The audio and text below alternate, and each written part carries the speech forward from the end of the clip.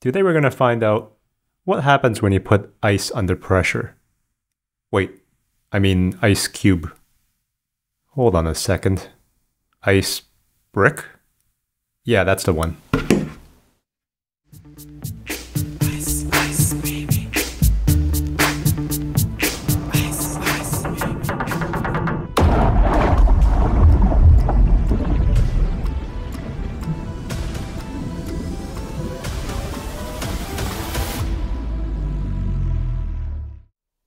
Have you ever wondered if water can crush ice?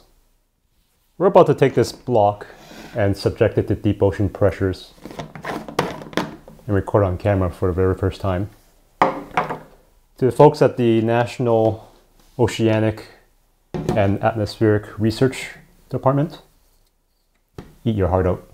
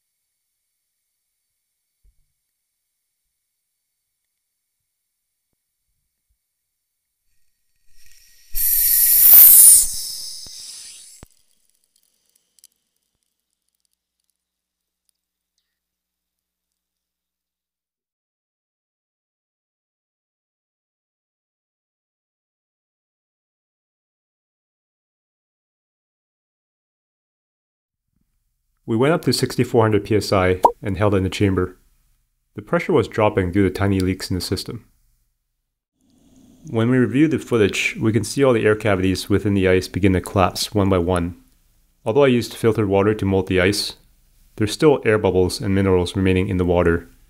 As the ice freezes from the outside in, these impurities get squeezed further and further inwards, causing a white inner appearance due to the light reflecting off the interface.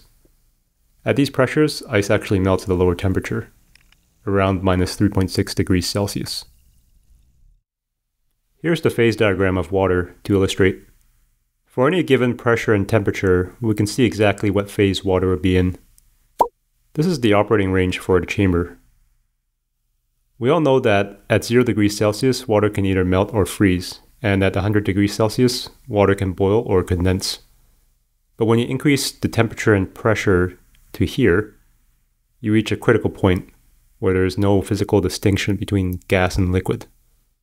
Beyond this point, water becomes a supercritical fluid. Another interesting point happens here where the solid, liquid, and gas transition curves meet at a triple point. At this temperature and pressure, all three phases of water can coexist in harmony. This point is unique for every material, and even for humans.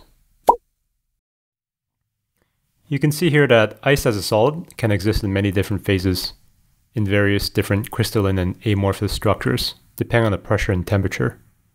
Currently, there are 21 known phases of ice. The ice as we know it, that forms naturally, is called ice 1H, and that takes on a hexagonal crystalline structure, hence the letter H. It's the reason why snowflakes grow into these shapes. So what happens when we increase the pressure of water Let's zoom out and see the rest of the phase diagram. It may be hard to imagine, but when water is subjected to extreme pressures, it actually becomes a solid, even at high temperatures. But this isn't your normal ice. The intense pressure forces the molecules even closer together, which increases its density.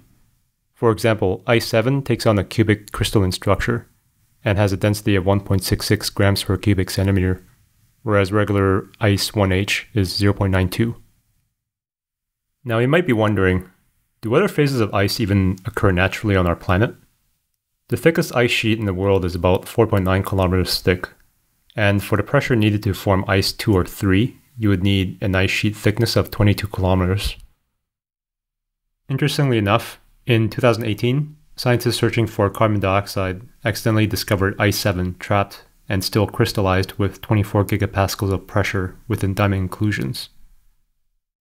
These diamonds, which formed 600 to 820 kilometers deep underground at temperatures of 500 Kelvin or 230 degrees Celsius, eventually made its way up the kimberlite pipes within the mantle. Scientists also believe Ice 7 exists across the solar system, underneath the icy moons of Enceladus and Europa. In order for Ice 7 to form in the ocean bottom, we would need a pressure of 2.1 gigapascals, or roughly 210,000 meters of seawater and the deepest point in the ocean is Challenger Deep, which is 11,000 meters below the surface. So we basically need 19 Challenger Deeps just to whip up some cubic ice. I don't think even James Cameron has the balls to go that deep.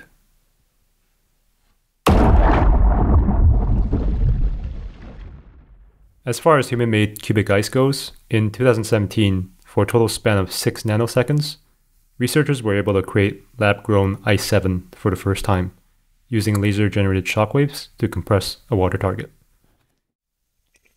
Unfortunately, I haven't equipped this chamber with lasers yet, so we won't be cooking up any Ice 7 today.